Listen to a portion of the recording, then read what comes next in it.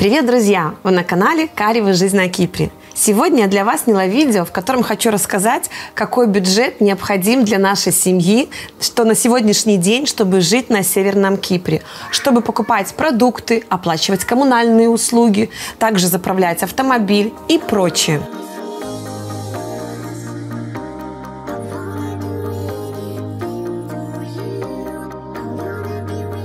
Около года назад я для вас подобное видео снимала и рассказывала, сколько мы тратим на питание, рассказывала, сколько мы тратим на коммунальные услуги, э, сколько мы тратим на образование. И э, подбивала такой месячный бюджет. Э, скажу честно, что мировой экономический кризис и нас не прошел стороной. А также такая непростая ситуация экономическая в Турции дала о себе знать. И на сегодняшний день на Северном Кипре цены на все увеличились, и бюджет изменился. Если год назад для нашей семьи э, на, в среднем на семью мы тратили э, с образованием, с питанием, с коммунальными услугами до полутора тысяч долларов, то на сегодняшний день я скажу, что это цифра без образования. Э, почему? Э, смотрите, э, курс э, за год, курс лиры увеличился в два раза. Был 7-7,5 э, лир к одному доллару. Сейчас 14,5-15. Э, а цены увеличились не в два раза. И даже у людей, у которых доход в валюте, они на себе ощущают э, изменение цен, потому что цены изменились в лирах в три раза. Э, но сразу я хочу сказать, что не на все в три раза увеличились цены, но на многое. Э, для примера, э, бензин стоил 7 лир. Сейчас он стоит 19 лир. Ну, не в три раза, но уже в два с половиной раза увеличился, да, стоимость бензина. А, кофе. Я покупала кофе за 40 лир. Сейчас кофе стоит ровненько 115 лир в три раза. Например, э, также э, вода, питьевая вода, которую мы заказываем в бутылках. Раньше мы, она, они нам привозили за 8 лир, сейчас 25, одна бутылка. То есть э, я анализирую, что практически все необходимые товары увеличились практически в три раза. И, естественно, как я говорила в прошлом году, что если у нас на бюджет уходило, и также это не только продукты, это и услуги, это и коммунальные платежи, вода увеличилась в стоимости, электричество увеличилось в стоимости. И если в прошлом году мы могли нашей семьей э, ну, достаточно нормально жить, э, я говорю, не шиковать, но и не скромно, прям уже там нормально, обычно жить полноценно, и готовить, кушать, там, первое, второе компот. Э, и в прошлом году нас выходило тысячу долларов. То в этом году на это же все уходит полторы тысячи. Вот коммунальные услуги э, и еда. Э, я не беру образование. Мы в прошлом году оплатили за обучение, и стоимость еще, ну, мы ничего не платили, она не изменилась. В следующем году я знаю, что стоимость обучения останется прежней. Прежней, например, в нашей школе, где мы учимся. Ну, я думаю, что, возможно, и в других тоже, где не непосредственно в фунтах обучения. А у кого обучение договора в лирах, естественно, поднимется. И вы знаете, я не удивлюсь, если они поднимутся в три раза. Вот вообще не удивлюсь. Поэтому будет очень интересно, если британские школы, где в фунтах, будут стоить э, не намного дороже там, где турецкие частные школы, где образование в лирах. Кому интересно посмотреть мое предыдущее видео, которое было снято практически год назад, э, вы можете э, по ссылочке перейти, посмотреть для интереса. А также сегодня я хочу рассказать по пунктам э, на сегодняшний день, что входит в наш бюджет э, семейный, месячный и конкретно по цифрам пройтись. Я же бухгалтер. Итак, самая главная такая весомая часть бюджета составляет э, для многих семей, и мы не исключение, это питание, еда. Э, мы раньше приходили в магазин и могли каждый день, я так приблизительно ну, оценивала, да, что мы покупаем какие продукты, и на неделю вот мы покупали, да, приблизительно выходило 20 долларов в день мы тратили на питание. На сегодняшний день эта цифра увеличилась э, ну, в полтора раза точно а то и в два. Итого мы тратим где-то в районе 30-40 э, вот, долларов в день. Например, яйца раньше стоили большой лоток 30 штук 17 лир, а сейчас он стоит 60 лир. То есть вы посчитайте, даже больше, чем в три раза увеличились, э, увеличилась стоимость. А я, я правда говорю, что здесь год назад я э, всем это рассказывала, видео, видео снимала, здесь было очень дешево. Вот моя подруга приехала с Беларуси, и она переводит э, стоимость, она знает, у нее ну, свежие цены в памяти. Она рассказывает, что у нас все равно здесь на Северном Кипре э, цены на продукты дешевле, либо также. Э, что-то есть в Беларуси дешевле, но в основном как-то у нас все равно на Северном Кипре дешевле, если взять вот общую да, массу продуктов. Ну, например, молочная продукция не подорожала в три раза. Был йогурт 8 лир, сейчас он стоит 16, такая же баночка в два раза подорожала. То есть все очень-очень выборочно, индивидуально. Сыры сыры подорожали. Э, я не знаю, от чего это зависит, ценообразование. Ну, наверное, то, что производится на Северном Кипре и в магазин поставляют фермеры, э, то оно еще не так выросло в цене. А импорт, который сюда приезжает, ну, если это остров вот с Турции, приезжает э, с Европы, естественно, он дорожает. Я вам стараюсь привести самые такие простые примеры, вот, чтобы вы понимали, да, и чтобы вот рассказать, например, хлеб, да, он стоил раньше 6 лир, ну, до 10 максимум. Сейчас он начинается где-то от 18, 25 к 30 ближе. Фрукты, овощи, которые непосредственно растут на Северном Кипре, э, подорожали в полтора раза. Э, стоимость, вот, э, я говорю, отношение доллара к э, к лире в два раза, а цены в лирах в полтора раза. Поэтому э, ну, это не на все овощи, фрукты, а на те, которые э, растут на Северном Кипре. Э, я смотрю, что вот сейчас уже начинают уже огурцы дешевле, что они стоили 40 лир, огурцы 40 лир, а раньше были 8 лир. Сейчас огурцы стоят в районе 20-24 лиры приблизительно. В общем, овощи и зелень также подорожала, но ну, не в три раза. Она, она просто там есть момент сезон, не сезон, а, но она подорожала где-то в полтора раза. А меня очень, кстати, обрадовало мясо. Раньше мясо стоило в районе 100 а, лир, любое мясо, и курс ну, был э, один к 7, как я рассказала, к доллару. Сейчас мясо столько же стоит. Я смотрю, либо больше ассортимент, либо я нашла лучше, больше магазинов. Ну вот мясо от 70 до 150 лир. Ну такие цены были и раньше. И это мясо, я вам скажу, это баранина хорошая, и это говядина хорошая. У фермеров мы вот тут покупаем, уже несколько местечек нашли.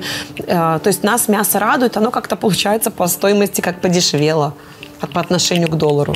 Алкоголь. Алкоголь. Баночка пива раньше стоила э, где-то от 5 до 10 лир. Сейчас она стоит от 20 до 30 лир в магазине.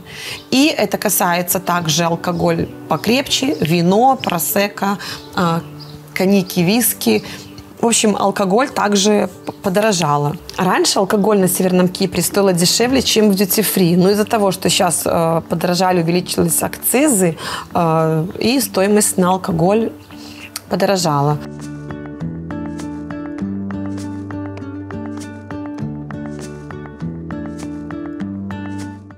Что касается второго пункта затрат, это коммунальные платежи.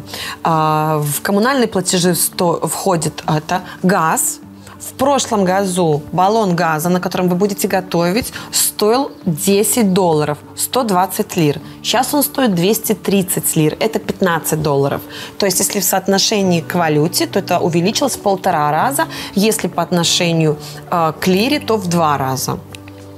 А, что касается а, электричества, оно также подорожало. И оно подорожало не менее чем два раза. А, был у нас один месяц, когда стоимость была почти в три раза дороже, два с половиной, три раза. Но сейчас сделали такой дифференцированный расчет на, на, на электричество до какой-то до, так, до какого-то количества потребляемой энергии одна стоимость, потом другая, третья, ну, как во многих странах э, в наших СНГ. И на сегодняшний день, если посчитать, то электричество увеличилось э, в два раза. Питьевая вода также увеличилась, как я рассказала, да, стало, было 8, стало 25 лир бутылка. Э, что касается обычной воды она также увеличилась, не намного, но также увеличилась. Там э, как раз-таки где-то в полтора-два раза. А, итого вы понимаете, что, да, видите, питание увеличилось не меньше в среднем, чем в два раза. Коммунальные услуги не менее, чем в два раза что-то в три, что-то в полтора, ну, мы берем среднеарифметическое. И также э, топливо. Стоимость бензина была 7,5 лир, сейчас 19, тоже увеличилось. Э, следовательно, мы делаем вывод, что э, вся жизнь на Северном Кипре э, у кого доход в валюте увеличился в полтора-два раза. А, а у кого в лирах, то мы скажем, что по сравнению с прошлым годом увеличилось, смело скажем, в три раза.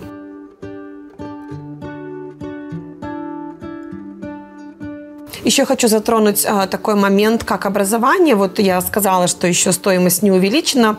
А, но вот детский садик, он стоил полторы тысячи. Я вот знаю детский сад частный, а, полторы тысячи лир. Сейчас он стоит две с половиной тысячи лир следовательно, тоже стоимость увеличилась. А сейчас я также хочу вам рассказать а, про автомобили. Это не наш семейный бюджет, я как бы так отойду, просто немножко вам расскажу а, для общего понимания. Вот год назад автомобиль хороший, например, 2018 а, года какая-нибудь Mazda Demi а, стоила 6-7 тысяч фунтов. Сейчас такой же автомобиль меньше, чем за 9 тысяч вы не купите. То есть стоимость на автомобиль за год в, в валюте увеличилась в, ну, может, не в полтора раза, это я такой вам пример привела, но на процентов 30 это точно. Также стоимость вот на маршрутке увеличилась. Моя дочка ездит, и вот если год назад она стоила 8 лир, то сейчас 25, вот в одну сторону, вот от нас до, доехать до Гирны.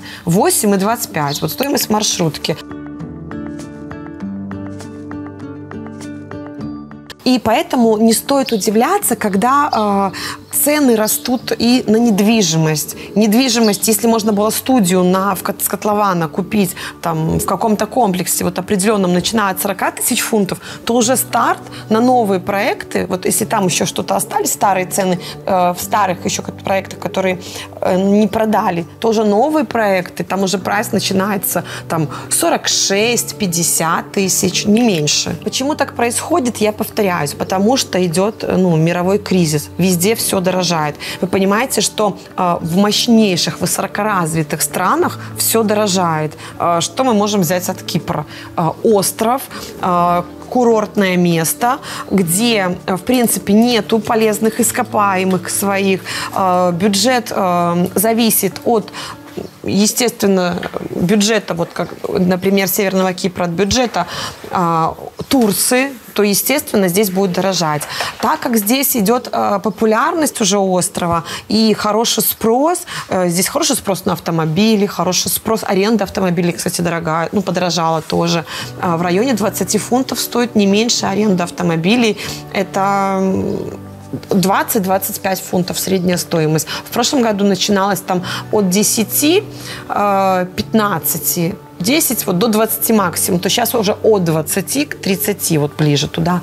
Вот, это я говорю на краткосрочную, не на долгосрок. И э, поэтому вы понимаете, что идет популяризация, плюс общий кризис, и, естественно, цены растут. А, моя знакомая живет на Южном Кипре, и когда раньше я ей рассказывала, наши цены показывала, она меня спрашивала, это что у вас цены в евро, почему у вас так дорого? Я говорю, это в лирах, и разделить там настолько-то, настолько-то. Она говорит, ой, как дешево, и показывала мне свои цены. И она сюда приезжала, как раз-таки вот э, в рестораны, она приезжала, ну, на шопинг она сюда не приезжала, но она вот просто приезжала сюда вот как ну, посмотреть.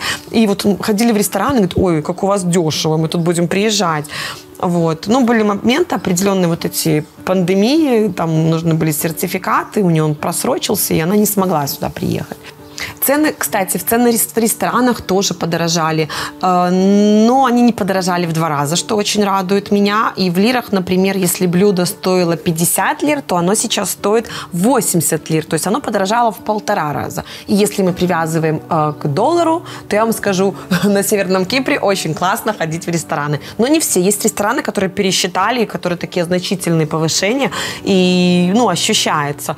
А есть очень хорошие рестораны, я знаю прям, куда надо идти, там очень-очень вкусно и очень дешево. И также хочу сказать, что перед тем, как вы приезжаете на Северный Кипр, вы видите, что здесь цены растут. И если у вас доход, например, у кого-то в российских рублях, или у кого-то в белорусских рублях, или у кого-то в тенге, там, ну, меня в основном смотрят э, страны бывшего СНГ, то я вам хочу сказать, что вы ощутите это, это подорожание. И у нас ребята, например, они уехали, потому что здесь э, стало дорого жить им.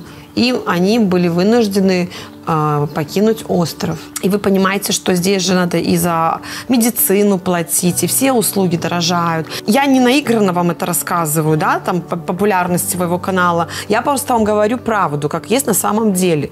Потому что это, ну, я это вижу. И мне не хочется, чтобы человек э, приехал сюда и жил хуже, чем там, откуда он приехал.